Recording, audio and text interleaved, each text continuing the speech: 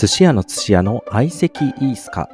新しい技術と発想でウェルビーイングな街と暮らしをスマートシティ略して寿司ネタを全国各地で広げて回る番組です。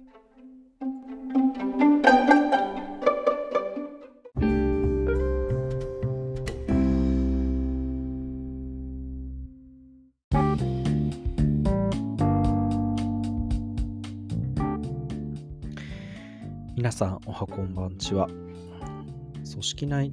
中小企業診断士の、えー集まりというのを毎月1回やってますけども、まあ、今回、えー2024年3月はですね組織内診断士にもできる災害復興支援というテーマで、えー今回はですね元復興庁で政策調査官をやられた経験もある中小企業診断士のですね土田健太郎さんにお話をいただきました。土田さんは広告会社にですね、18年ほど在籍をされてですね、テレビですとか新聞メディアの担当、マーケティング、プランニングですとか、そういったところに、従事されていまして、まあ、その流れで、この復興庁の方に、出向という形で行かれていまして、で、まあ、そちらをあの退職された後はですね、株式会社ミライルという、えー会社を立ち上げて、ま、そこの代表取締役をされています。顧客起点のマーケティングプランナーということでですね、えカスタマーリレーションマネジメントですね、こういった活動に、まあ、従事をしているということでございます。はい。えーで、その、復興庁に行かれた時というのは2020年から2年間ということで、えーまあ、被災地の水産業ですとか、まあ、そういう一次産業等のですね、復興に向けたハンズオン支援みたいなものを、えーやられていたということで、えーで中小企業診断士のスキルもあの存分に活かしてですね、東日本大震災後の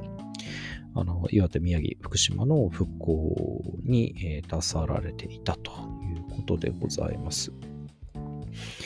いや、改めてこの東日本大震災のあの凄さというかですね、規模の凄まじさというのを、まあ、あの話を、まあ、聞いて、ちょっと改めてなんか私も、あの自分が診断士取ったのは2013年なんですけど、もう本当その2年前ですよね。あの起こった時は、まだその時は、あれですね、私も会社勤めしていた時に、あのビルの41階とかで被災というか、あの震度5弱とかでですね、本当にあのすごいことになったなと、もうビルのね、その高いところにいるから、もう今日は、あ、これで死ぬかもと、本当に思ったんですけども、うん。なんかの机の下にね、隠れたりとか、あのーしたんですけど、隠れても、なんかもう、これビル折れたら終わりじゃないかとか思ったりとかしながら、あの日は本当に大変だったなというか、ありますけども、その2年経ってから、その、中小教師なし取ってからね、あの、取り立ての時に、こう一体何しようかなというふうに、思って、あの、いたんですけど、あの当時、あの、Google の日本法人がですね、イノベーション東北というそういうプロジェクトをやられていて、あのまさにあの東北の復興支援をその Google としてですね、えーまあ、Google さんがお持ちのいろんな、あのーツールを活用して、まあ、支援していくみたいなプログラムに参加してですね、で、何度か東北に足を運んだりとかもして、で、なかなかその時、あの、まだもう、あの支援、ね、支援の仕方の結構難しさというのを、あの、あの、なんて言うんでしょう、すごい難しいところから入ってしまったのかもしれないなと自分で我ながら思ったんですけども、まあ、あの、いくつか関わらせていただいたというのが、あの、もうもはやなんか懐かしいような形ですね。で、まあ、その後もこの復興庁の方では、あの、えーいろんな、あの、現地のですね、えー事業といいますか、あの事業者の方々を支援するみたいな取り組みがずっと続いているということで、まあ、復興庁自体も職員の方は440名おられ、で、復興局といって、まあ、各、えー岩手、宮城、福島の各県に、あの、40名から120名ほどのですね、えー、方々がおられ、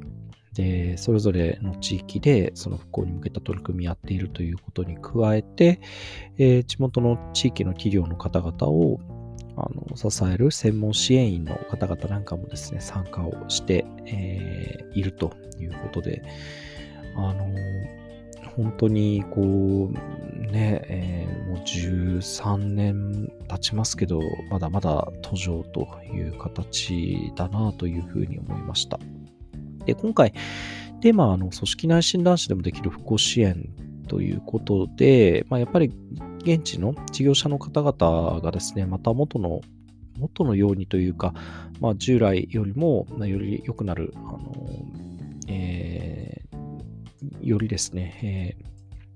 えー、以前よりも、あの強くなれるように、えー、なるための支援をしていくっていうようなことで、まあ、関わりどころはすごくね、いろいろあるとは思うんですよ。あの、販路拡大の支援みたいなことですとか。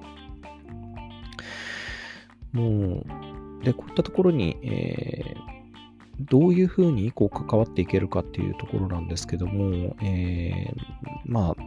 あ、あの、復興支援ってね、ととてもこう、ちょっとあの、ボランティア的なところはあるはあるんですけども、まあ、とはいえこう、専門医の方々もね、そればっかりやっていても、なかなかご自身の生活成り立たないということで、公的支援の中で、あの、専門家報酬などですね、あの、国の方からもお金が出て、それに基づいて、まあ、動いたりなんかね、してるわけなんですけども、なんか話を聞いててすごい難しいなと思ったのは、この、あの、一人一人の支援員の方々がね、この生計をきちんと維持するということと、まあ、こういう支援にかける予算ですとか、まあ、こういったところってどれぐらいが適切なんだろうかなというかですね、まあ本当にこれがもうだんだん毎年少しずつね、削られていってしまっているということで、ただ一方でですね、あんまり補助金ばっかりでね、こう、あの維持しよう維持しようみたいな形にしても、それはそれでもう補助金付けみたいな形になってしまうっていうような、まあ、そういう、あの、えー、難しいところもあり、ちょっと今後、これはあのどういうふうに進んでいくのかなということと、まあ、どういったと関わり方があるのかな。本当にいろんな関わり方あるとは思うんですけども、まあ、そういう専門的な支援ということも含めて、えー、まあ、日頃からその経営者の方に声をに耳を傾けるですとか、まあ、少しずつ小さな成果を出していくですとかですね、やっぱり熱意みたいなものとか、あの実現性が一番重要だよねといったような、あの、ありがたいコメントを、えー、いただきました。はい。えー、他にも、まあ今、まさに1月に能登の、能登半島の地震が、あ、ってですね、かなり能登半島もすごいこう壊滅的な形になって、特にあの酒蔵なんかね、十数件あの本当に全部もう酒作れなくなってしまってですとか、その水産業のあの復興みたいなものもですね、あの厳しいところもあろうかと思います。で、こういったところに、まあ、今後今、インフラが徐々に戻りつつあるようなところで、まあ、1年、2年ぐらい経ってからですね、こういう専門的な事業支援みたいなことが出てくるのかなというふうには思っていますけども、ちょっとどんなふうに関われるかですとか、あの、関わるときの、まあ、あの、うまいあの関係の作り方みたいなことも考えていければなということを思いましたと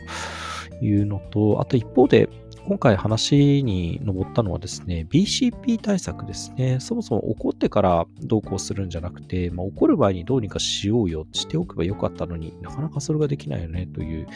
ご指摘。まあ、本当にそれはその通りだなと思いながらもですよ。なかなか実態としてそういう防災ですとか、の災害対策は、まあ、いわゆる保険のような意味合いもあるので、えー、保険にね、どれだけお金かけたらいいかっていう、もう、こともありますから、あの、なかなか実態として手が回ってないということもあるなと思いました。で、いろいろと、えー、例えば中小企業庁ですとか、中小機構ですとか、あと全国商工会議所の、えー、連合会ですとか、そういったところのページを見ると、まあ、その BCP 対策のためのね、ガイドブックとかガイドラインみたいなものが、まあ、あるから、まあ、これ見てそれぞれやってくれみたいな、まあ、そういう雰囲気もありですね。まあ、本当は、